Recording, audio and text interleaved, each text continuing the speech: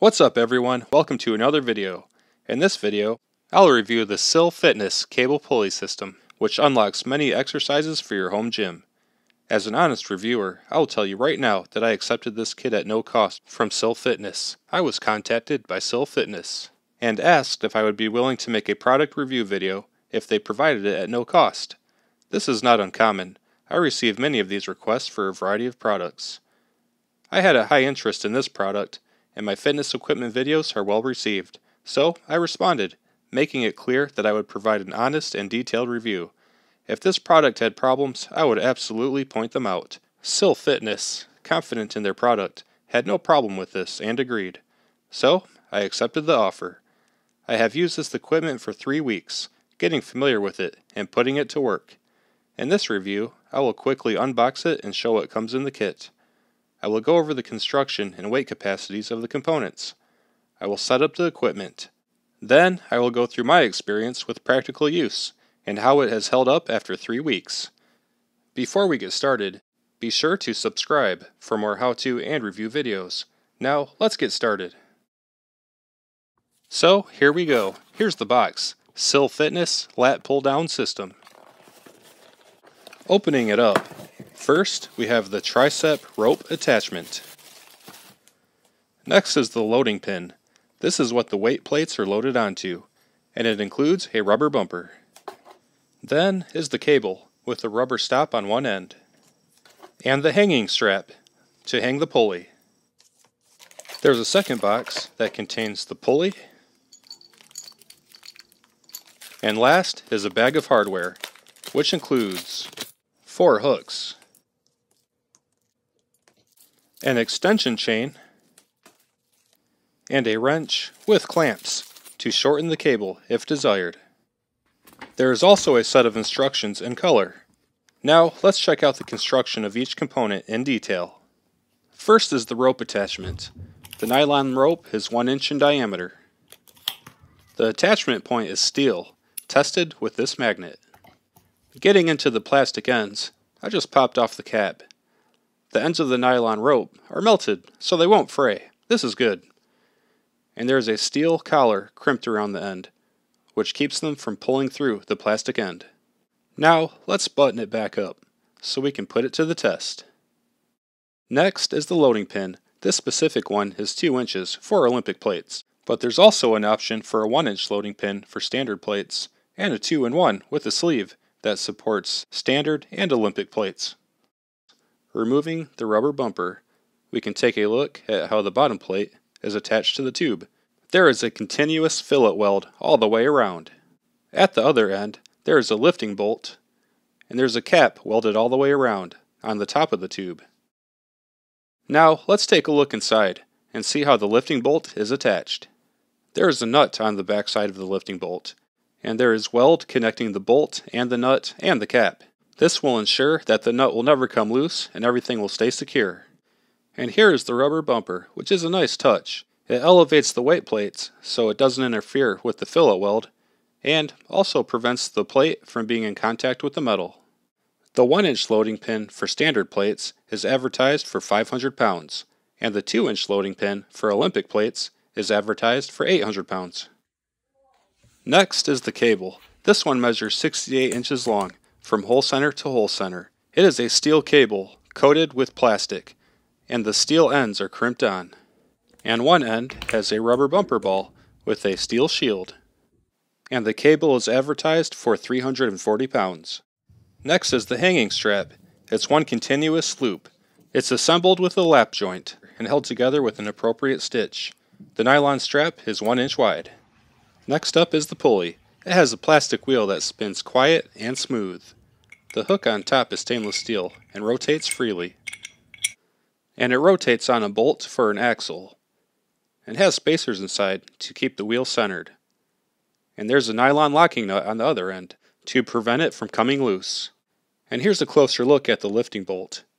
On the inside, there is a stainless steel bolt and the head won't pull through.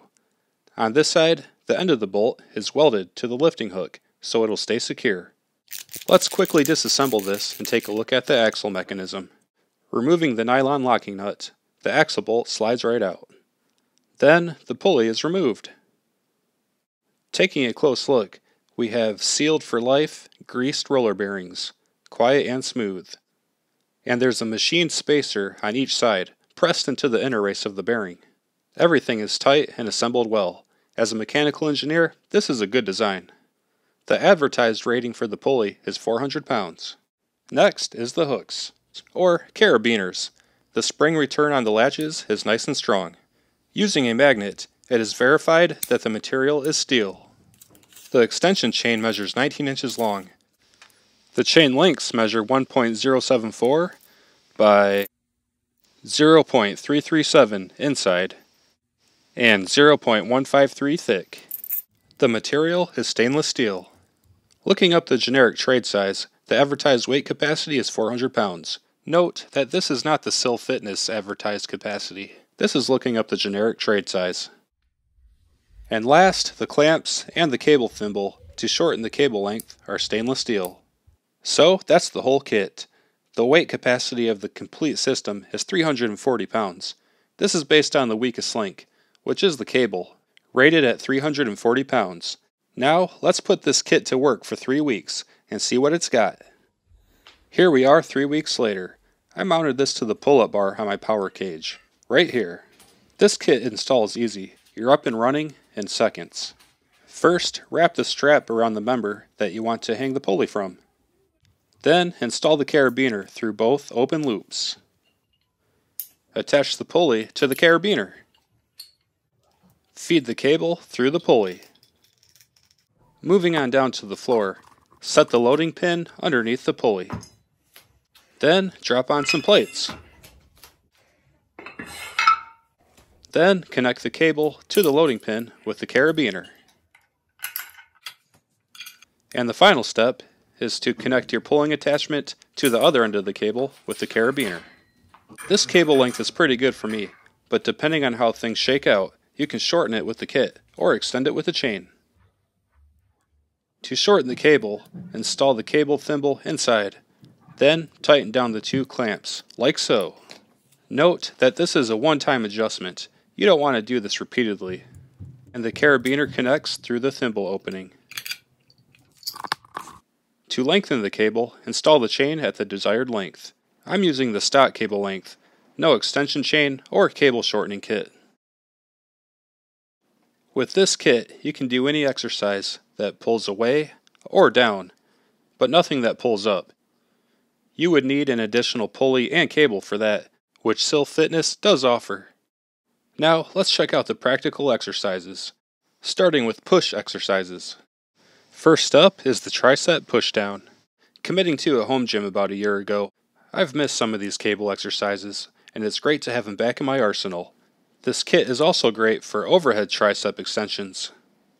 And take a look at the loading pin during these exercises to get an idea of how much it swings around. We've also got chest cable crossovers. Of course, you'll have to do one side at a time, which makes balancing a little more challenging. It's more taxing on your core.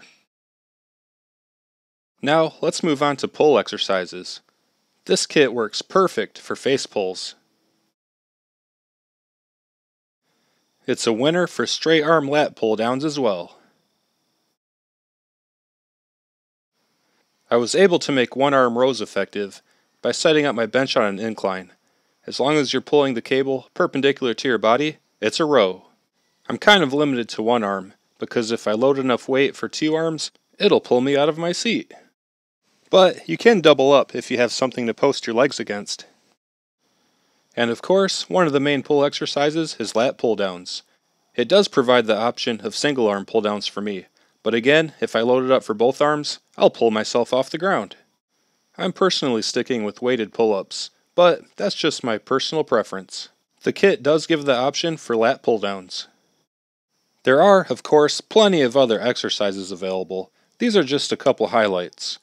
I've assembled a pretty complete home gym over the last year and felt like I can do pretty much anything I wanted to. But this cable kit is a game changer. It brought back some favorite cable exercises and has opened up a lot more options. It is fast and easy to get this set up and get lifting. Based on the last three weeks of use, it has held up great. The pulley is quiet and smooth, and there have not been any significant issues. The only two negatives that I have to point out are 1. One time when I removed the weight plate, the rubber bumper was stuck to the bottom. This is trivial, and it only happened once. But if your rubber bumper is ever missing, check the bottom of the last weight plate that you used. And number two, the carabiners. These machined edges around the latch are pretty sharp. And also, when pushing the latch in with my finger, there's not a lot of room to get accessories on or off. But this type of latch is an industry standard. These are pretty typical for cable systems and attachments. With that in mind, I definitely recommend this kit. It has added a lot of great options to the home gym. I should have done this a lot sooner. I look forward to using this kit, hopefully for years to come. There are several similar kits available from a variety of unfamiliar manufacturers, which can be a little perilous when shopping new. But now you know the details of the SYL Fitness Kit. So that wraps up this video. Thanks for watching. I hope you found it helpful. If you did, please give it a like and subscribe so you don't miss the next video. Drop any comments below, and I'll see you in the next video. In case you're curious about these goofy looking handles, I just threw them together because I needed something. PVC pipe, nylon strap, heavy washer, and a load bearing carabiner. I definitely recommend buying some from day one. You'll need them, and I have some on order.